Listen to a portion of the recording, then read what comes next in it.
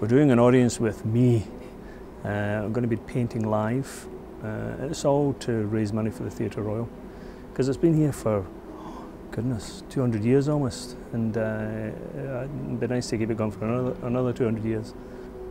I've been here so many times, like everybody else in Newcastle, come to Theatre Royal, and it's pure escapism. So to keep places like this alive is a must. Well, I hope a lot more people get to know the real Alexander Millar because people know him through his paintings and his gadgie. But what is the gadgie? Who is the gadgie? Why does he paint the gadgie? All those kind of questions, they're all bound up with Alex, the man.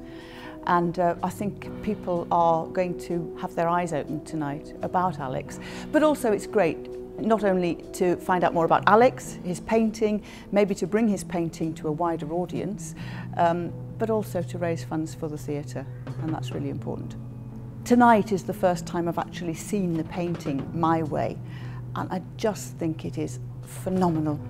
It's Alex's Gadgie in an artistic setting, which is quite unusual, and it just blows me away. Alex's paintings do invoke a feeling within you. Now, whether that makes you cry, makes you feel down, or makes you happy, this perhaps is one of the most uplifting of Alex's paintings I have ever seen. When I do audiences like this, everybody always wants to know the background as, you know, as a setting for how the image is developed and how they were created, how they came from your subconscious to go on the canvas in the first place.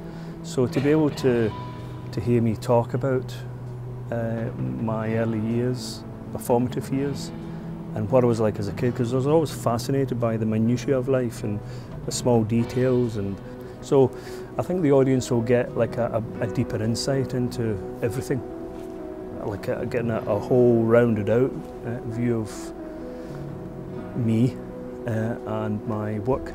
Well, what I was doing was informing them how I became the Gadgie what I did to become the Gadgie and how I met Alex. And uh, what it was was I went to his studio, he invited to stay with my wife, and I heard Alex say that he was looking for a Gadgie. And my wife just suddenly turned around and said, He'll be your Gadgie. And I turned around and looked at him, and he said, Walk up and down. And that's says right, you can be my Gadgie, just like that. He's great in front of an audience, and it's probably one of his best skills. He's just brilliant in front of people, and he, he has he always has something funny to say. Um, so I thought he did really well. When they explain at the end of the auction, I think it's a, it's a good thing to do. You know. For somebody to actually dedicate, for, um, you know, for something that's local like that, it's a really good idea. Uh, uh, I wish more people would do it. To be honest. Absolutely, absolutely great. You know, it's uh, I rely on people like Susan because they, they, come out with loads of stories about their own past and their own childhood, and it's like, oh, I go away with those stories, and I log them away in the, the, the bank in my head, you know, and it's just like, oh, I'll bring them, I'll bring them out and do a picture, you know.